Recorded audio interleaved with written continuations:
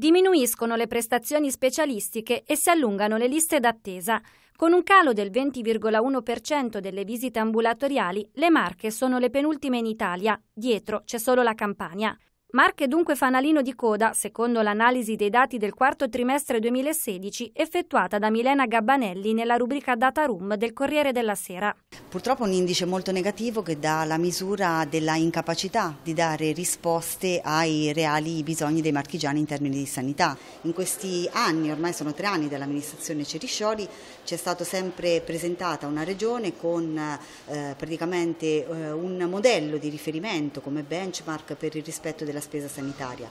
Io dico che se non corrisponde a un parametro di rispetto del budget la capacità di dare altrettante prestazioni, io dico che non è una buona sanità. E il vero male eh, della sanità marchigiana sono le liste d'attesa e la mobilità passiva, che sono tra l'altro due patologie strettamente correlate tra loro, perché appunto il cittadino si rivolge altrove, spesso fuori regione, per trovare quelle risposte che la sanità marchigiana purtroppo non riesce a dargli. Questo dato a noi non risulta, commenta il presidente della Regione Marche, Luca Ceriscioli. Per le liste d'attesa in questi anni è stato fatto un lavoro molto importante.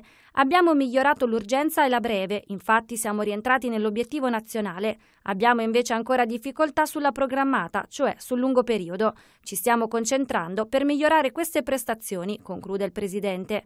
E a fine anno c'è il rischio che TAC e altre visite specialistiche di controllo possano slittare al 2019 si ritrova sempre più spesso, visto che i budget sono molto risicati annualmente in questo periodo, comunque entro fine ottobre, con budget ristretti se non finiti e quindi con la necessità, e qualche volta si trova anche la scusa della sosta natalizia, per inviare tutto quello che non è strettamente legato a patologie salvavita ad anno nuovo. Ecco invece che noi diciamo come CISRE che investendo una, poche risorse ma importanti sul personale si possono far lavorare di più le macchine, avviare progettualità per i dipendenti e far sì che i cittadini non debbano aspettare mesi per avere la vista da loro auspicata per la loro salute.